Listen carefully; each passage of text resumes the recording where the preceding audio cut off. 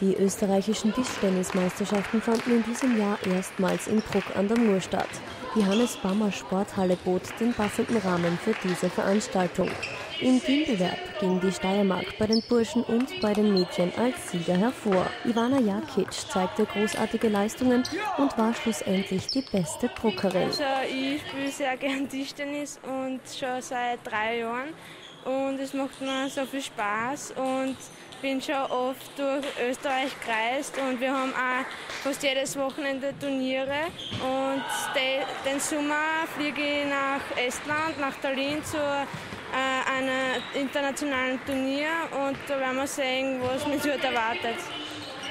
Und ja, ich finde es auch ganz lustig, da zu spielen und wenn man auch was gewinnt und bei der Siegerehrung dabei zu sein, ist auch immer ganz lustig. Und ja, ich finde es einfach toll.